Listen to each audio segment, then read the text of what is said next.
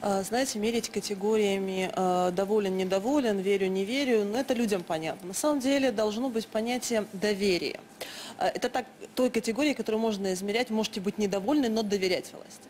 А Доверие ко всем государственным институциям крайне низкое, независимо от того, а, как- какие они представляют. Вообще веры в государство, как в институт, все меньше и меньше.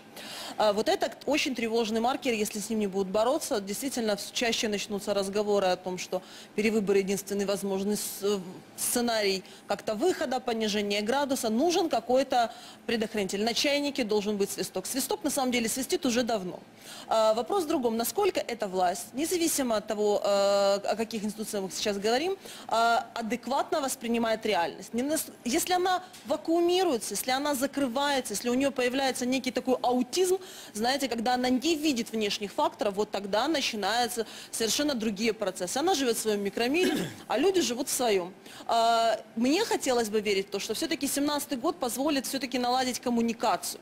Когда говорили о том, что все-таки нужен здоровый диалог, а, а не кулуарные какие-то договоренности, да, а о том, что а, должна реагировать власть адекватно на критику, на альтернативное мнение.